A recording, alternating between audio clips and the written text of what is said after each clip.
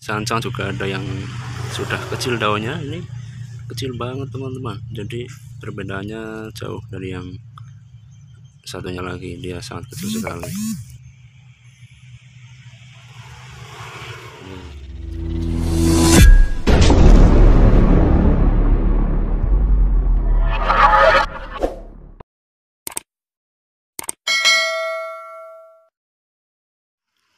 Oke kawan, kita sedang berada di depot bonsai Pak Tamam, lokasinya di daerah Doro, Larikan, Pekalongan. Di sini banyak sekali bibit-bibit bonsai yang dari yang lokal sampai yang impor. Ada juga yang sudah jadi.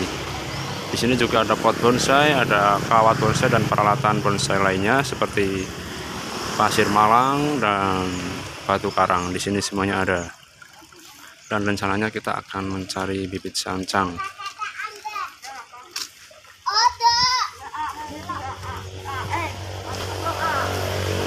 Nah ini pot bonsainya.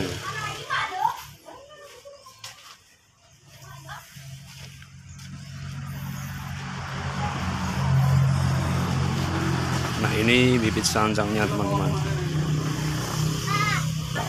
Oke, kita akan cari bibit sancang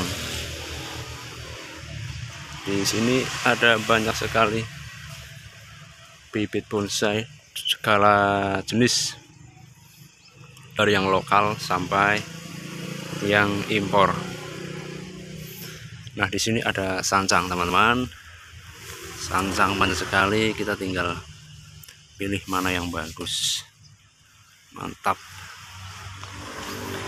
Ini sudah subur-subur.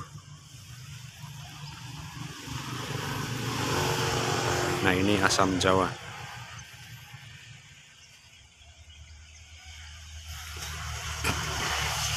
Ini mungkin lohansung ya kalau nggak salah. Nah ini adalah Dewan Daru. Oke kita lihat sancang lagi. Kita pilih yang bagus yang mana teman-teman. Di sini murah-murah. Lokasinya ada di Doro Pekalongan